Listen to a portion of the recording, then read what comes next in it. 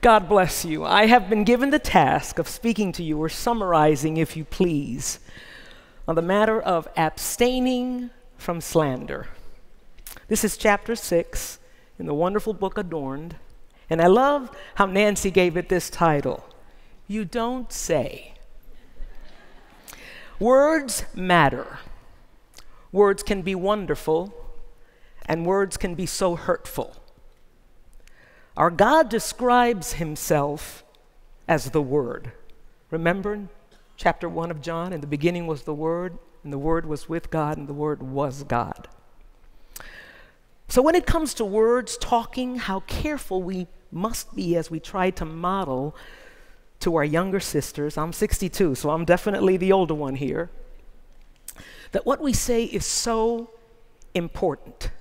And I am so thankful that the Word of God is very clear to what should be coming out of our mouths. Can you say amen? This is not in the script. I'm going to stop for 30 seconds to tell you something. I did jingles for many years, I sang commercials. They haven't gone away, have you noticed? Why? Because they work. People get degrees in marketing because when you push something the right way, people will buy it, people will get it. So I have a jingle for you tonight. Do you want to hear it? Read your Bible.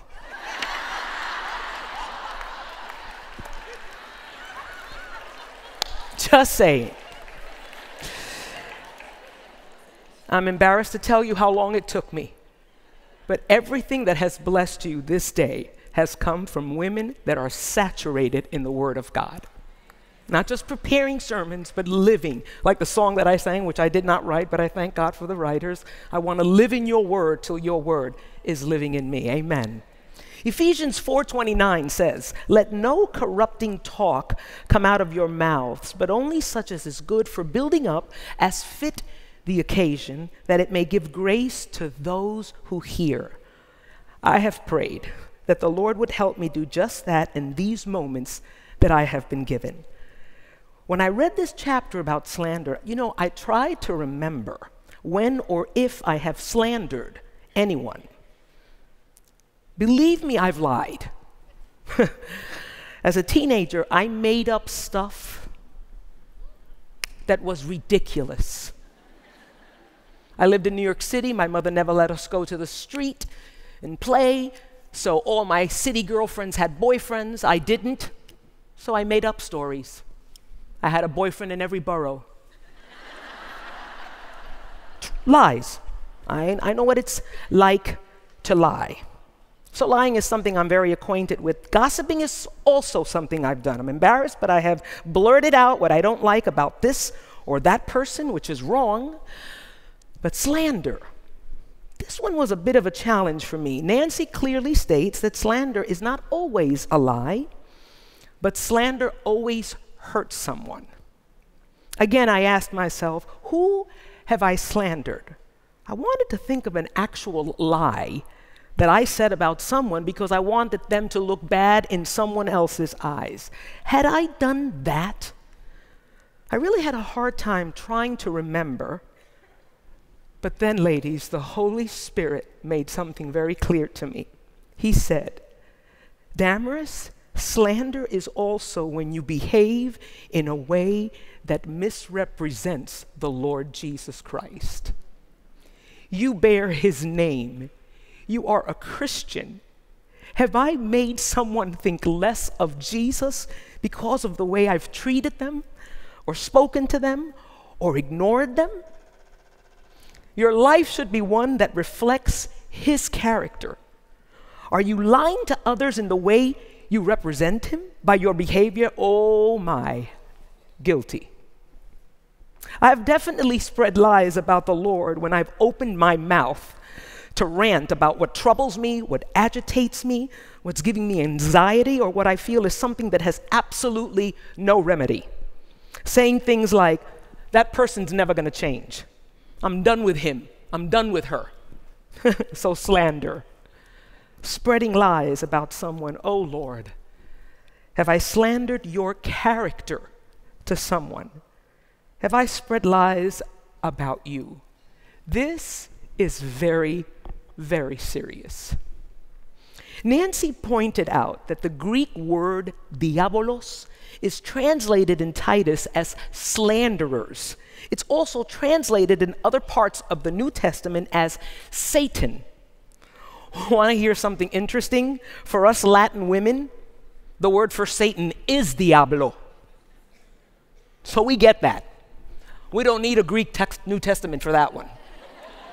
Mm-mm. We understand that one real well. Lying is diabolical. Let's ask the Lord to help us walk in truth. Can you say amen? The Lord listens well. Do you? Do I? In the fifth or sixth grade, I can't remember, I snuck into my elementary school teacher's closet and opened the metal box that contained our records.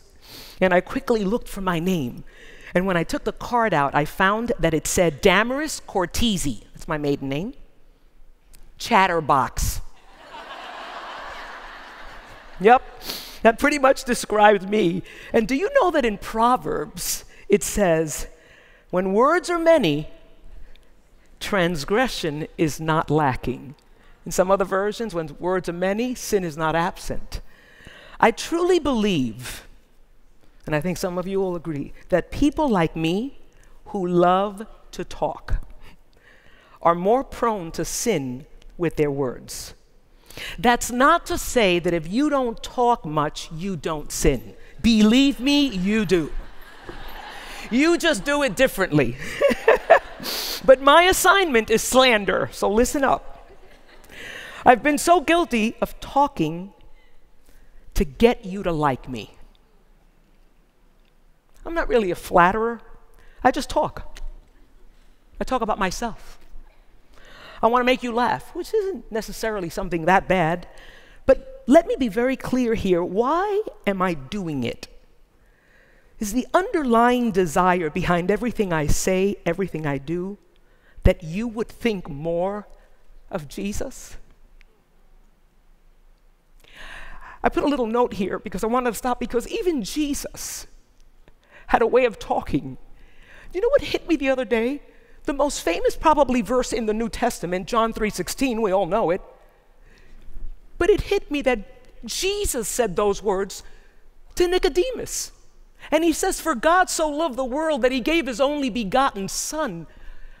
Do you hear that? He didn't say, Nicodemus, listen to me. God so loved you that he sent me. Even there, he is, he's saying, he's making much of his Father. So, is that why I want you to like me? Is it so that you would see how wonderful Jesus is? Because listen, ladies, when my heart is in the right place, and when I sing wanting you to hear Him through the lyrics, or right now as I'm speaking and praying with all my might that you would see how glorious He really is, I cannot begin to tell you the overwhelming joy that completely fills my being. But the times that the motive is slightly skewed or not in the right place, the Holy Spirit allows me to feel that dull but deep ache, it's called godly sorrow, of knowing that I have not pleased Him. Or better said, I have misrepresented Him.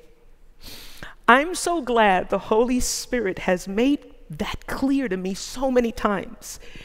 He causes us to remember. That's what the Holy Spirit has come to do, to bring to remembrance everything His Word has told us about Jesus.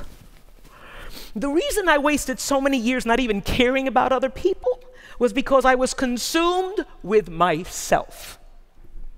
God was patient and merciful, and He is still changing my heart. Also, not in the notes. You know how I know He's merciful? He hasn't killed me. I'm alive.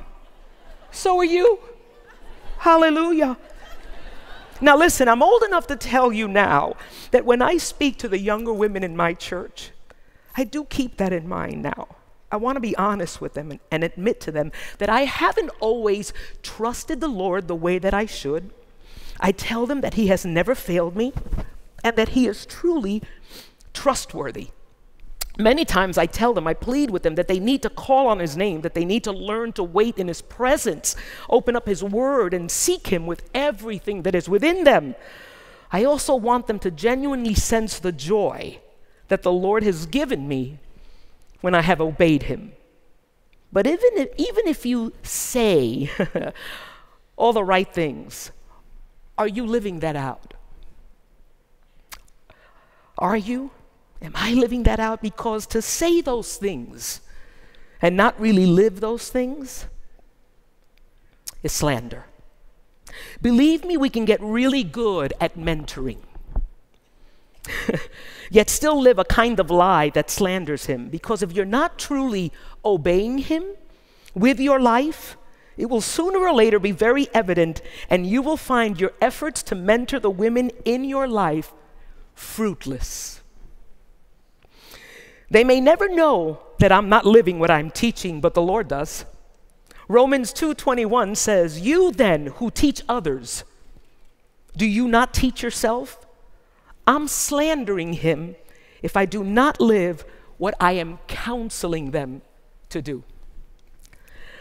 Help us, Lord. Living that way is contrary to his character. Does my life speak the truth? Jesus does not only speak the truth, Jesus is truth. Thankfully, now, by God's grace, I do want to learn how to listen better to those He has placed in my life.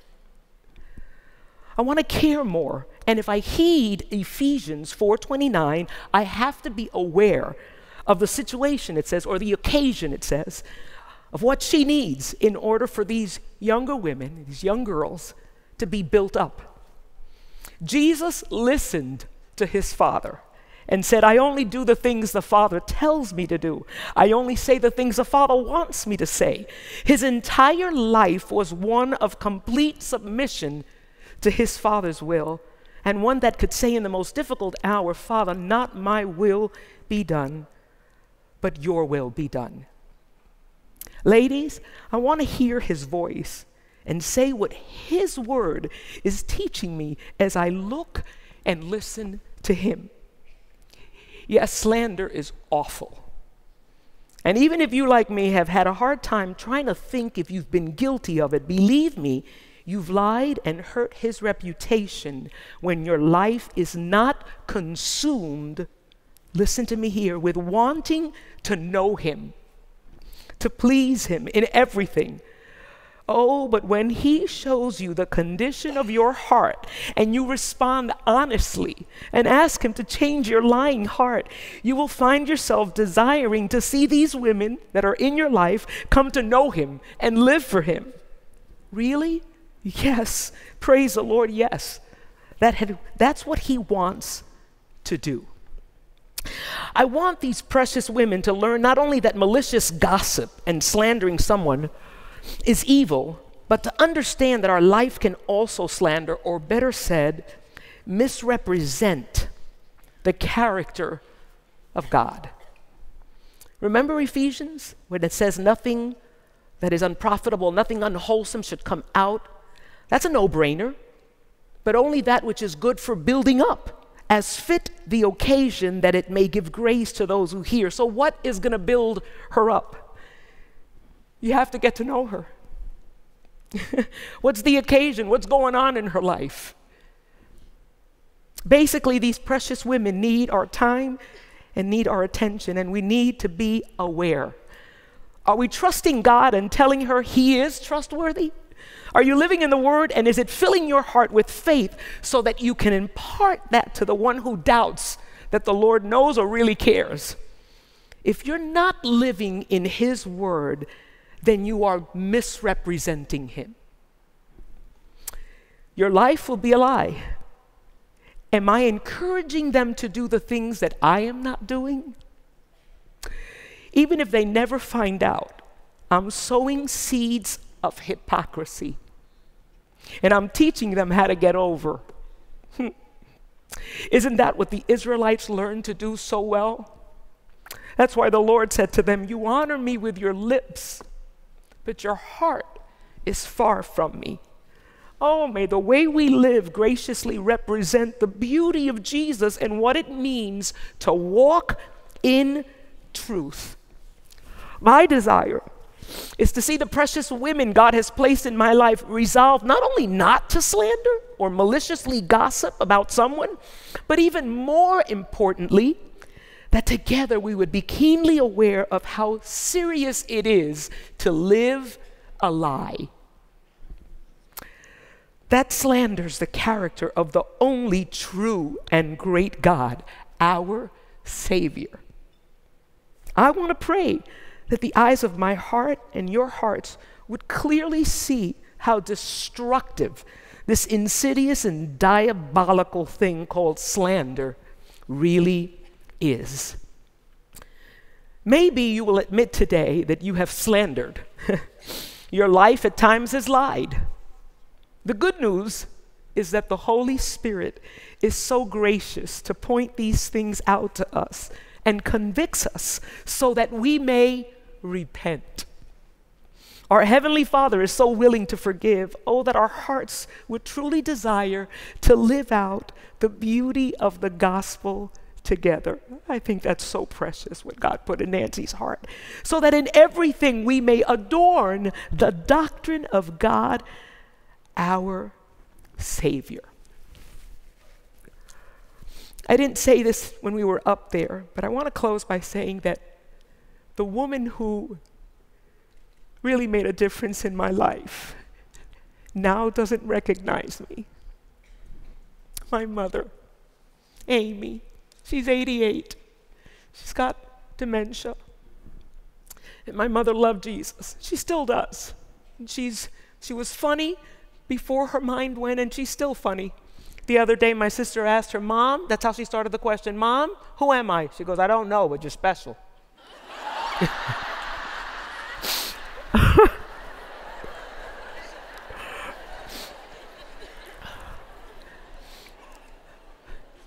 my mother also loved Jesus. I remember thinking, I think she'd leave us for him. Yet never felt unloved. I was obsessed as a little girl asking her all the time, Was I pretty? Was I pretty? Was I pretty? And she, she would kind of ignore that. And, and, um, and then one day she finally said this to me. She goes, Honey, you're exotic. I had absolutely no idea what that word meant. then one day I saw that flower, bird of paradise it's like, and that's an exotic flower. Thanks, Mom.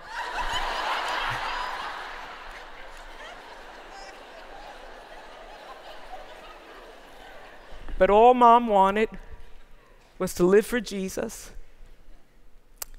And I will be eternally grateful that the woman who was most responsible for my loving Jesus is my mother. And I thank the Lord for that. Pray with me. Heavenly Father, forgive us for misrepresenting you. Forgive us for lying, for slandering others, for slandering you. Your word says that if we confess our sins, you are faithful and just to forgive us our sins and to cleanse us from all unrighteousness. We are so grateful that you are merciful and compassionate we humble ourselves today and tell you that we need you more than ever, and we want our lives to honor you.